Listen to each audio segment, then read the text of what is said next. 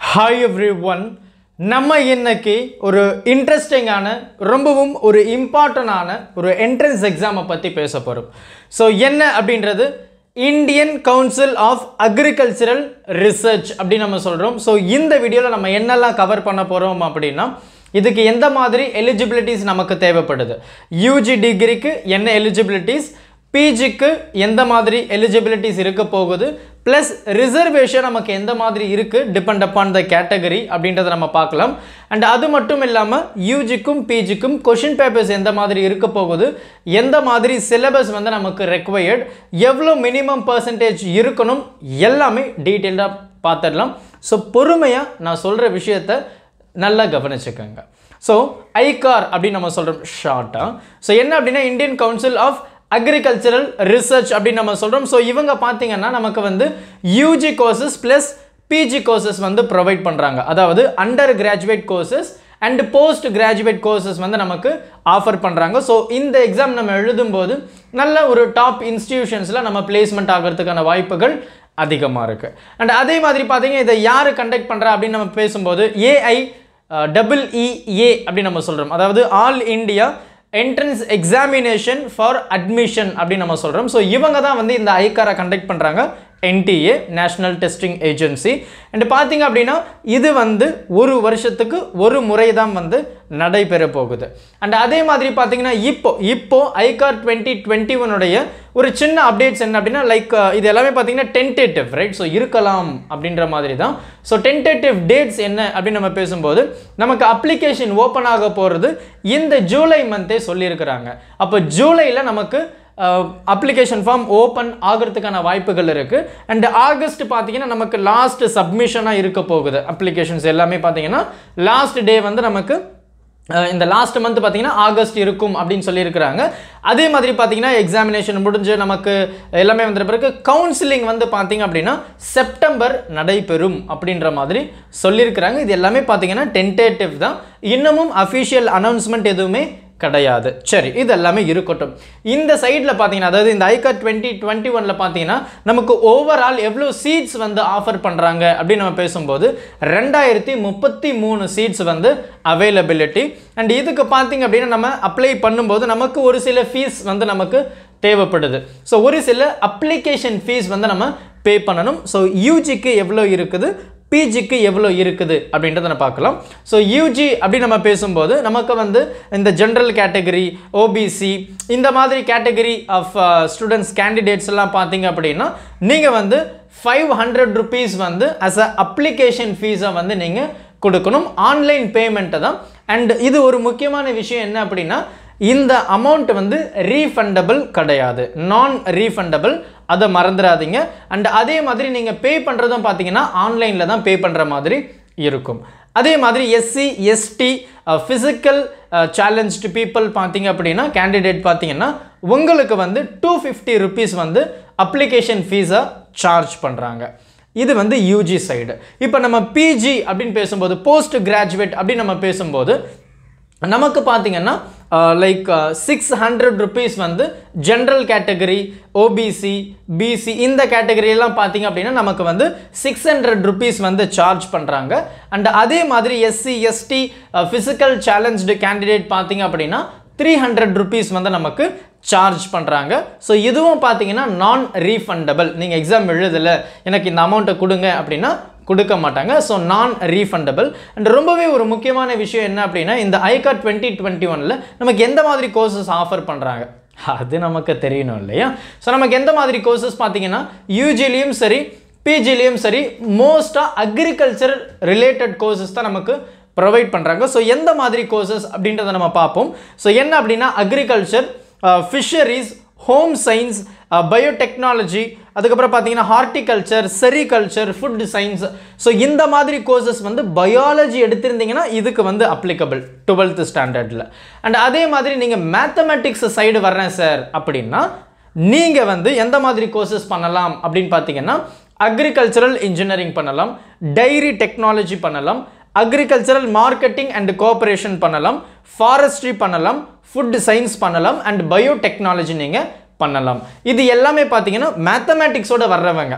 So biology group எடுத்தவங்க first category அதாவது stream A stream B அப்படின்னு நம்ம சொல்கிறோம் ஸோ அதே மாதிரி பார்த்தீங்கன்னா போஸ்ட் கிராஜுவேட்டும் ஸோ இதே மாதிரி ரிலேட்டட் கோர்சஸ் தான் நமக்கு வந்து ப்ரொவைட் பண்ணுறாங்க அண்ட் அதில் பார்த்தீங்கன்னா வெட்டினரி சயின்ஸும் வரப்போகுது. சரி அது எல்லாமே இருக்கட்டும். இப்போது எனக்கு எந்த மாதிரி எலிஜிபிலிட்டிஸ் இருக்கணும் அப்படின்னு கேட்டிங்கன்னா டுவெல்த் ஸ்டாண்டர்டில் நீங்கள் டுவெல்த் மார்க் எவ்வளோ இருக்கணும் அப்படின்னு பார்த்தீங்கன்னா மினிமம் பர்சன்டேஜ் வந்து ஃபிஃப்டி பர்சன்டேஜ் வந்து இருக்கணும். இந்த ஃபிஃப்டி பர்சன்டேஜ் இது எல்லாமே eligibility to attend ICAR exam அவ்வளோதான் ஸோ எலிஜிபிலிட்டி இதுதான். So general category OBC BC இந்த மாதிரி கேட்டகரி ஆஃப் கேண்டிடேட்ஸ் பார்த்தீங்க அப்படின்னா டுவெல்த் ஸ்டாண்டர்டில் minimum fifty percentage of marks வந்து நீங்கள் கம்பல்சரி எடுத்திருக்கணும். அண்ட் அதே மாதிரி எஸ்சி எஸ்டி சைடு பார்த்தீங்க அப்படின்னா minimum forty five forty percentage கொஞ்சம் லைட்டாக அட்ஜஸ்ட் பண்ணிக்கோங்க. ஃபார்ட்டி பர்சன்டேஜ் வந்து கண்டிப்பாக வந்து ரெக்வயர்ட் அப்படின்னு சொல்லியிருக்கிறாங்க. அதாவது எஸ்சி எஸ்டி இந்த மாதிரி கேட்டகரி ஆஃப் கேண்டிடேட்ஸ் பார்த்தீங்கன்னா மினிமம் ஃபார்ட்டி பர்சன்டேஜ் வந்து இருக்கணும். அண்ட் அதே மாதிரி உங்களுடைய ஏஜ் பார்த்தீங்கன்னா அக்கார்டிங் டு திஸ் ஆகஸ்ட் நீங்கள் சிக்ஸ்டீனை கம்ப்ளீட் பண்ணியிருக்கணும் அப்படின்னு சொல்லியிருக்கிறாங்க. இது எல்லாமே யூஜிக்கு இருக்கக்கூடிய எலிஜிபிலிட்டி பிஜி போஸ்ட் கிராஜுவேட் அப்படின்னு நம்ம பேசும்போது இதில் வந்து நமக்கு டென்த்து டுவெல்த்து அப்புறம் ஃபைவ் இயர்ஸ் கோர்சஸ் நீங்கள் பண்ணியிருந்தீங்கன்னா yes you are eligible for this அப்படி இல்லை அப்படின்னா tenth twelfth plus four years courses எதனா பண்ணியிருந்தீங்கன்னா எஸ் யூ ஆர் எலிஜிபிள் அதையும் இல்லை அப்படின்னா tenth twelfth three years course பண்ணியிருந்தீங்களா அப்போவும் யூ ஆர் எலிஜிபிள் ஒரு சில ஸ்பெசிஃபிக் கோர்சஸ் தான் ஆஸ் ஐ லிஸ்டட் பிஃபோர் இல்லையா? ஸோ இது எல்லாமே நமக்கு இருக்கணும். அண்ட் ஃபைவ் இயர்ஸ் கோர்சஸ் அப்படின்னு நம்ம பேசும்போது எந்த மாதிரி ஃபைவ் இயர்ஸ் கோர்சஸ் அப்படின்னு நீங்கள் கேட்டிங்கன்னா veterinary science and animal husbandry so இந்த இதுதான் ஃபைவ் இயர்ஸ் கோர்சஸ் மற்றபடி ஃபோர் இயர்ஸ் லைக் இன்ஜினியரிங்காக இருக்கலாம் பிஎஸ்சி கோர்சஸாக உங்களுக்கு வந்து இருக்கலாம். ஸோ இது எல்லாமே பார்த்தீங்கன்னா பிஜிக்கு எலிஜிபிலிட்டி அதாவது நீங்கள் யூஜியில் ஃபைவ் இயர்ஸ் டிகிரி பண்ணியிருந்தீங்கன்னா அக்செப்டபிள் ஃபோர் இயர்ஸ் டிகிரி பண்ணியிருந்தீங்கன்னா அக்செப்டபிள் த்ரீ இயர்ஸ் டிகிரி பண்ணியிருந்தாலுமே அக்செப்டபிள் இது எல்லாமே பார்த்தீங்கன்னா போஸ்ட் கிராஜுவேட்டுடைய மினிமம் எலிஜிபிலிட்டி அப்போ உங்களுடைய பர்சன்டேஜ் எவ்வளோ இருக்கணும் அப்படின்னு கேட்டிங்கன்னா நமக்கு இந்த ஃபைவ் இயர்ஸ் கோர்சஸ்க்கு வந்து மினிமம் உங்களுடைய பர்சன்டேஜ் பார்த்தீங்கன்னா சிக்ஸ் இருக்கணும். அதாவது அவுட் ஆஃப் டென் அதாவது அறுபது பர்சன்டேஜ் வந்து ஹண்ட்ரடுக்கு இருக்கணும். ஹண்ட்ரடுக்கு out of hundred sixty percentage வந்து நீங்கள் செக்யூர் பண்ணியிருக்கணும் அப்படின்றது ஃபைவ் இயர்ஸ் கோர்ஸுக்கான எலிஜிபிலிட்டி இது பார்த்தீங்கன்னா ஜென்ரல் கேட்டகரி வருது. எஸ்சி எஸ்டி சைடு பார்த்தீங்க அப்படின்னா ஃபிஃப்டி சிக்ஸ் பர்சன்டேஜ் வந்து நீங்கள் எடுத்திருந்தாவே போதும். அதே மாதிரி பார்த்தீங்கன்னா நமக்கு ஃபோர் இயர்ஸ் கோர்சஸ் இருக்குது ஸோ அதில் பார்த்தீங்க அப்படின்னா நமக்கு வந்து out of five right so ஒரு ஃபிஃப்டி பர்சன்டேஜ் அப்படின்னு எடுக்கும்போது அந்த ஃபிஃப்டி பர்சன்டேஜில் நமக்கு த்ரீ பாயிண்ட் டூ ஃபைவ் எடுத்திருக்கணும் அப்படின்றது இதில் இருக்கக்கூடிய ஒரு eligibility for general category OBC பிசிக்கெல்லாம் இதே மாதிரி எஸ்சி எஸ்டி சைடு பார்த்தீங்கன்னா two point seven five percentage out of five வந்து நமக்கு எதிர்பார்த்துட்டு இருக்கிறாங்க. அதே மாதிரி ஓகே அதே மாதிரி த்ரீ இயர்ஸ் கோர்ஸ் அப்படின்னு நம்ம பேசும்போது நமக்கு ஜென்ரல் சைடு பார்த்தீங்கன்னா out of four two point six வந்து எக்ஸ்பெக்ட் பண்ணுறாங்க அண்ட் அதே மாதிரி நம்ம எஸ்சி எஸ்டி சைடு பார்த்தீங்கன்னா three years கோர்ஸுக்கு out of four two point two வந்து எக்ஸ்பெக்ட் பண்ணுறாங்க ஸோ இது எல்லாமே பார்த்தீங்கன்னா யூஜியில் நமக்கு இருக்க வேண்டிய பர்சன்டேஜ் சரிங்களா? சரி இது ஒரு முக்கியமான விஷயம். அண்ட் அதே மாதிரி பார்த்தீங்கன்னா இந்த பிஜி பண்ணுறதுக்கு மினிமம் ஏஜ் எலிஜிபிலிட்டி அப்படின்னு நம்ம பார்த்தோம்னா நைன்டீன் வந்து இருக்கணும் அப்படின்னு சொல்லியிருக்கிறாங்க. மினிமம் ஸோ எப்படி பார்த்தாலும் நம்ம யூஜி முடிச்சுட்டு தான் போகிற மாதிரி இருக்கும். Almost we will cross nineteen இல்லையா? சரி அது எப்படி இருக்கட்டும். ஸோ எக்ஸாம் பேட்டர்ன் எப்படி இருக்க போகுது? நமக்கு யூஜியில் எந்த மாதிரி பேட்டர்ன் இருக்கும்? பிஜியில் நமக்கு எந்த மாதிரி பேட்டர்ன் இருக்க போகுது அப்படின்றத நம்ம பார்க்கலாம். ஸோ இப்போ நம்ம அண்டர் கிராஜுவேட் கோர்ஸ் ஸோ யூஜிக்கு பார்த்திங்க அப்படின்னா நமக்கு எக்ஸாம் பேட்டர்ன் ஸோ எந்த மாதிரியான we will have offline exam தான். ஸோ அது வந்து ஒரு டவுட் இல்லை. ஆஃப்லைன் எக்ஸாம் வந்து நமக்கு இருக்க போகுது. அதில் பார்த்தீங்க அப்படின்னா எம்சிக்யூஸ் தான். மல்டிபிள் சாய்ஸ் கொஷின்ஸ் தான் எல்லாமே. நூற்றி எண்பது கேள்விகள் கேட்கப்படும். நூற்றி எண்பது கேள்விகள் கேட்கப்படும். சரியான பதிலுக்கு நாலு மார்க்கும். நீங்கள் எதனா ஒரு பதிலை தப்பாக மார்க் பண்ணிக்கிட்டீங்க அப்படின்னா அந்த இடத்துல மைனஸ் ஒன் அதாவது ஒரு மார்க்கை வந்து டிடெக்ட் பண்ண போகிறாங்க கரெக்டாக எழுதுனீங்க அப்படின்னா நாலு மார்க்கு தப்பாக எழுதுனீங்கன்னா மைனஸ் ஒன்று வந்து நமக்கு வந்து பண்ணிடுவாங்க. ஸோ இதுதான் வந்து நமக்கு யூஜியில் இருக்கக்கூடிய ஒரு முக்கியமான விஷயம். அண்ட் அதே மாதிரி பார்த்தீங்கன்னா நமக்கு கொஷின் பேப்பர்ஸ் எந்த லாங்குவேஜஸில் இருக்க போகுது அப்படின்னு பார்த்தீங்கன்னா ஹிந்தி அண்ட் இங்கிலீஷ் ஸோ இது ரெண்டு லாங்குவேஜஸில் தான் நமக்கு ப்ரொவைட் பண்ணுறாங்க ஸோ ஆஸ் ஆஃப் நவ் நமக்கு இதுதான் அப்டேட் வந்திருக்கு. ஸோ இதுதான் இதில் இருக்கக்கூடிய ஒரு முக்கியமான விஷயம். அண்ட் அதே மாதிரி பார்த்தீங்கன்னா நீங்கள் யூஜி எக்ஸாம் அட்டன் பண்ண போகிறீங்க அப்படின்னா கண்டிப்பாக உங்களுக்கு எந்த மாதிரி சப்ஜெக்ட்ஸ் நீங்கள் டுவெல்த்தில் படிச்சிருக்கணும் அப்படின்னா physics chemistry biology mathematics so இது வந்து கண்டிப்பாக உங்களுக்கு இருக்கணும். இதுதான் முக்கியமான விஷயம். அதே மாதிரி பிஜி சைடு பார்த்தீங்க அப்படின்னா நமக்கு வந்து எம்சிக்யூஸ் தான் ஆஃப்லைன் எக்ஸாம் தான். நமக்கு யூஜியில் பார்த்தீங்கன்னா நூற்றி எண்பது கேள்வி.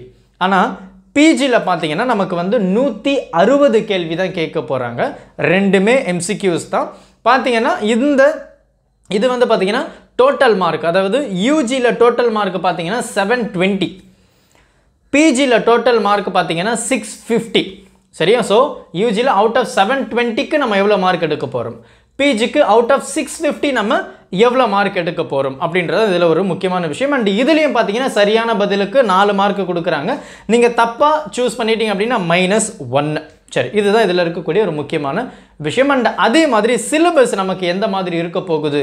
யூஜியில் சிலபஸ் பார்த்தீங்கன்னா நமக்கு physics chemistry biology or agriculture and mathematics so டுவெல்த்தில் வந்து அக்ரி கோர்சஸ் நீங்கள் சூஸ் பண்ணுறதுக்கான வாய்ப்புகள் இருக்குது ஸோ பார்த்தீங்கன்னா physics chemistry biology agriculture mathematics இதுதான் நமக்கு சாய்ஸ் பயாலஜி ஆர் அக்ரி சரியா? யூஜியில் சிலபஸ் uh, இதுதான்.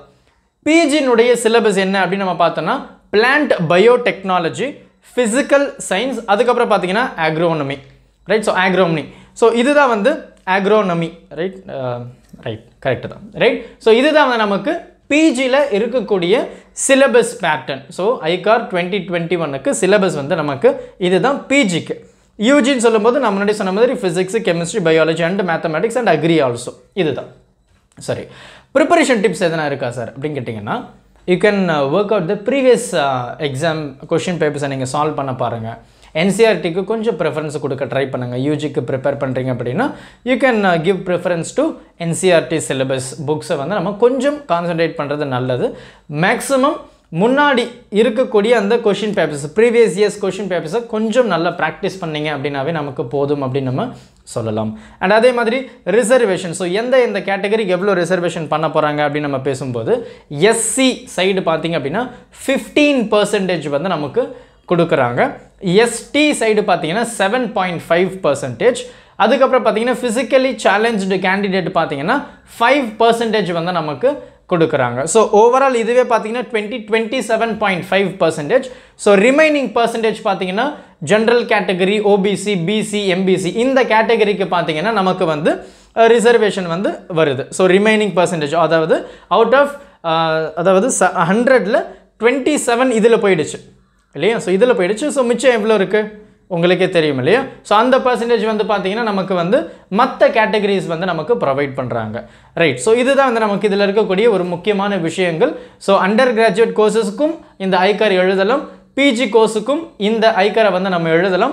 Most probably agricultural based courses தான் நமக்கு வந்து ப்ரொவைட் பண்ண போகிறாங்க ஸோ நல்ல எக்ஸாமுக்கு ப்ரிப்பேர் பண்ணுங்கள் நல்லபடியாக எழுதுங்க.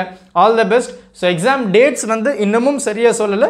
பட் இந்த ஜூலை எண்டுக்குள்ளே வரும் அப்படின்ற மாதிரி சொல்லியிருக்கிறாங்க. அப்ளிகேஷன் டேட்டு ஸோ அதுக்கப்புறம் பார்த்தீங்கன்னா நமக்கு வந்து ஒவ்வொன்றா வந்து they will give updates in the official site thank you help this with a smile